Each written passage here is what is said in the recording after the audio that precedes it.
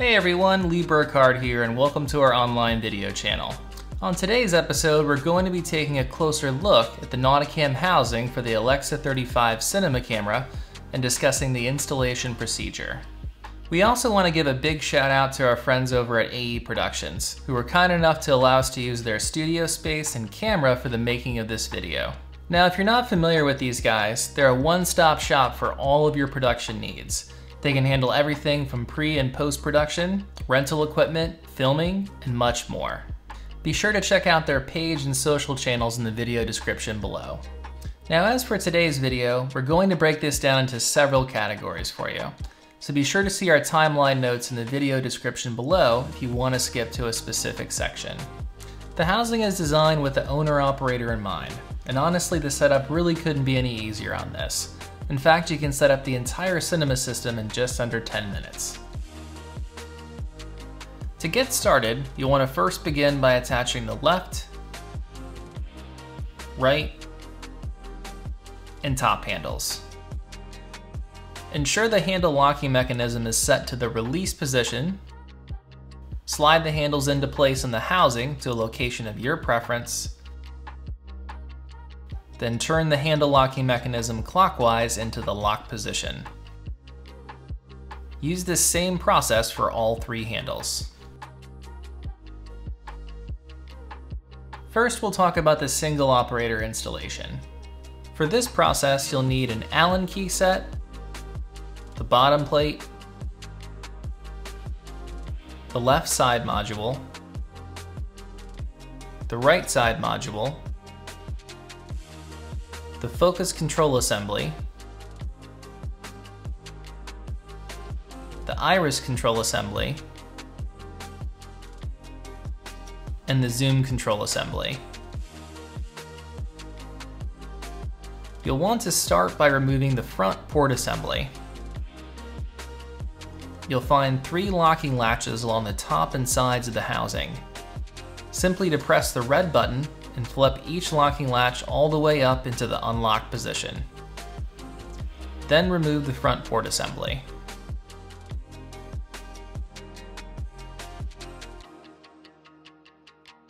Move the camera tray lever to the release position and pull the tray out of the housing from the front. You'll find an Allen key built into the tray. Using the Allen key, bolt the tray onto the top of the Alexa 35.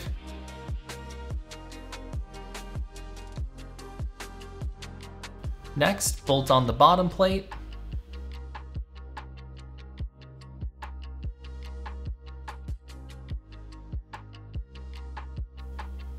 The left side module, and the right side module to the camera using the integrated Allen screws found on each module and plate. With the tray and side modules attached, you'll need to bolt on the bottom lens control assemblies. Starting with the focus control assembly shown here, push the focus control assembly into place on the upper right side of the right side module. Then thread both of the Allen screws found on the focus control assembly into the right side module to secure it in place. Next, grab the iris control assembly shown here. Push the iris control assembly into the right side of the bottom plate. Then thread both of the Allen screws found on the iris control assembly into the bottom plate to secure it in place. Lastly, if you're using a zoom lens, grab the zoom control assembly shown here Push the zoom control assembly into the left side of the bottom plate. Then thread both of the Allen screws found on the zoom control assembly into the bottom plate to secure it in place. With the lens control assemblies attached, you'll need to attach the 15mm rod to the iris and zoom control assemblies. Loosen the thumb tabs found on the left and right side of the bottom plate by rotating them counterclockwise. Pull the 15mm rod out from each side of the bottom plate, align the 50mm rod to the gearing found on the iris and zoom control assemblies, then rotate the same thumb tabs found on the bottom plate clockwise to secure the 50mm rod into place. Next, align the gearing on each lens control assembly onto the focus, iris, and zoom gearing found on the lens.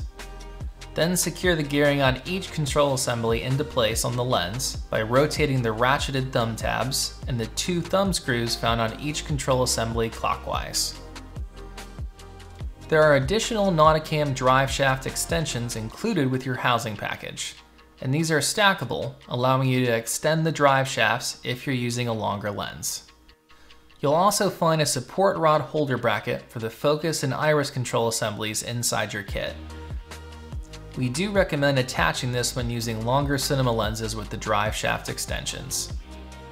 To install the drive shaft extensions, simply insert them, and then using an Allen key, turn the Allen screw found inside the drive shaft extension clockwise to secure each drive shaft in place. With the lens installed, perform a quick function test using the focus, iris, and zoom gearing found along the lens control assemblies to ensure everything's working properly.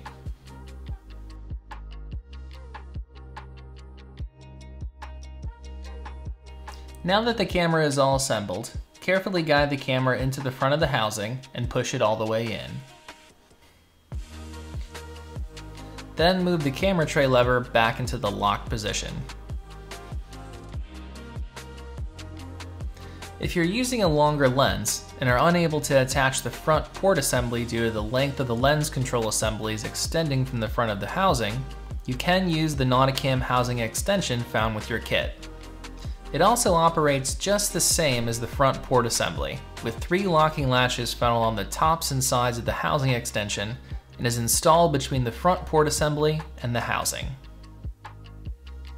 This combined with the lens control assembly shown earlier means that the lens choices for this housing are virtually limitless. To reattach the front port assembly, ensure all three locking latches along the tops and sides are pulled all the way out into the unlock position. Carefully place the front port assembly back onto the housing, and then move each locking latch on the front port assembly back into the lock position.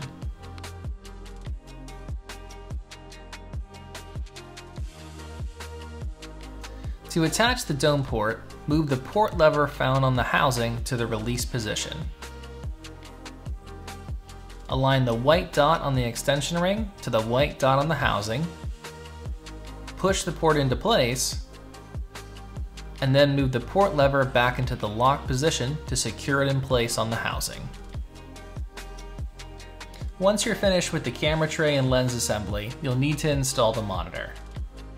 Nauticam includes several M16 bulkhead openings along the top of the housing for routing an SDI connection to external monitors, such as the Atomos Shinobi, Atomos Ninja 5, Small HD 503 Ultra Bright, Small HD 502 Bright, and the new Small HD Ultra 5 monitors. For help with installing any of these monitors onto the housing, you'll find a link below in the video description with the detailed installation guide. To open the rear of the housing, depress the red button on the rear housing latch, and then rotate the housing latch counterclockwise to open the rear door.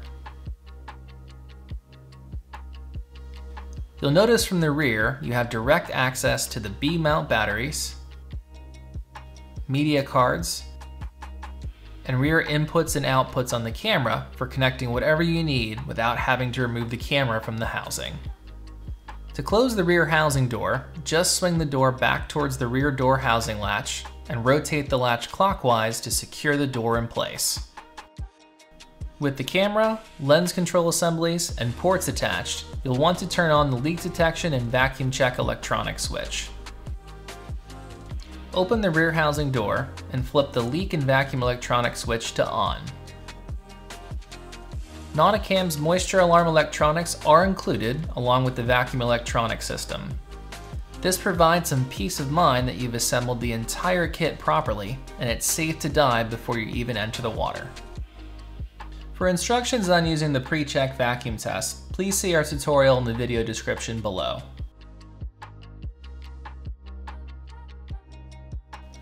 To get started with this installation, you'll need an Allen key,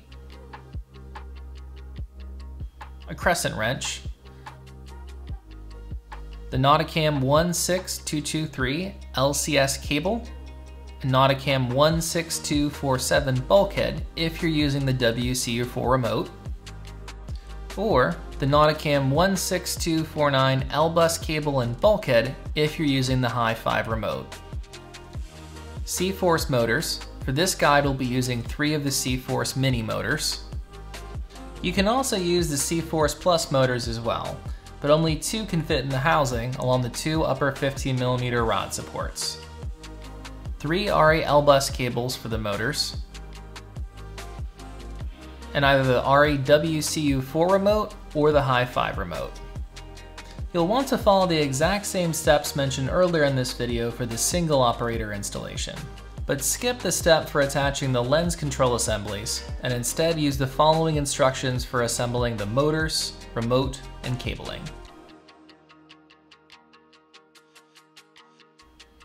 After you've assembled the camera tray, attach the two motor control assemblies shown here to the upper area of the right and left side modules using the integrated Allen screws and Allen key.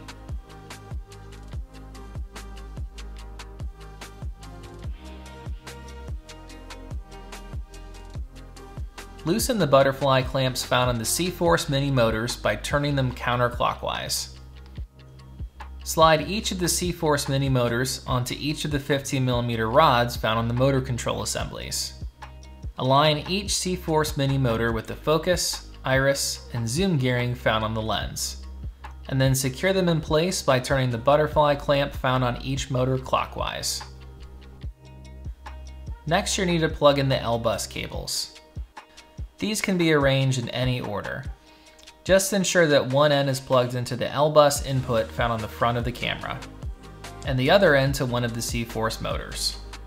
The remaining two L-bus cables can be plugged into the remaining two motors and daisy chained to the first motor that's plugged into the camera.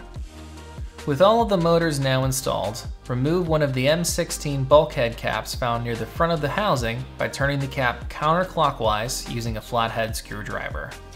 With the cap removed, install the bulkhead by rotating the bulkhead clockwise into the M16 opening using your hands. Then use a crescent wrench to tighten the bulkhead into place.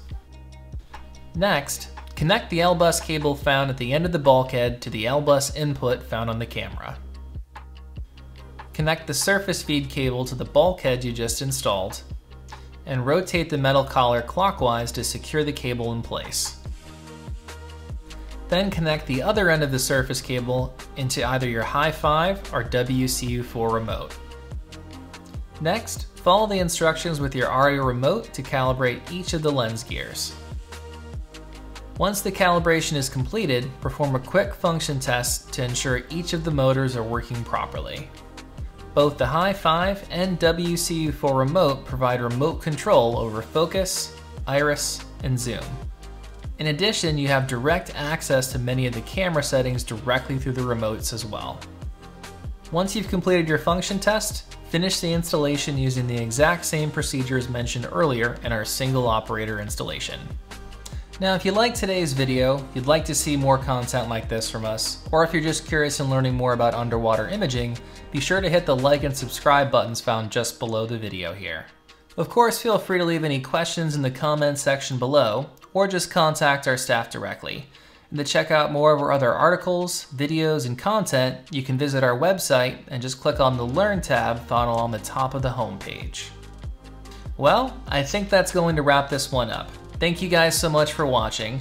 Stay tuned for more cool content to come soon, and we'll see you on the next one.